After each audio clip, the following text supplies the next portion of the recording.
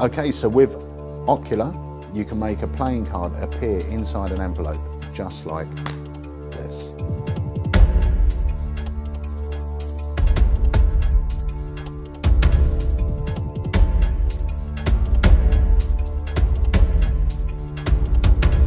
Sophie, you right or left-handed? Hold your right hand out for me. Hold your hand out, put your other hand on top. That's what I call a prediction. Okay? Give it to you before the trick, that way it's impressive later on. Okay?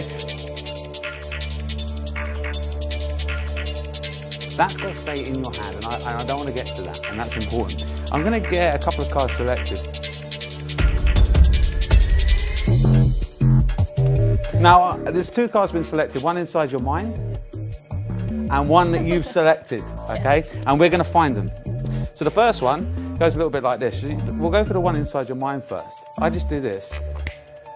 Say it was a black card. Thank you. No, I'll go further, right? I'll tell you, no, actually, I'll show you. Lift your hand up for me. This has been here the whole time.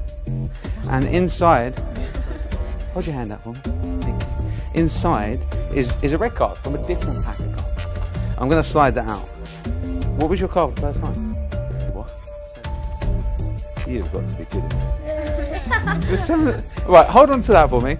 Uh, I did get two cards selected, so I think this is only fair. We've got the seven of spades, and you signed your name across the face of one of the cards, didn't you? So watch, stare here, stare at me.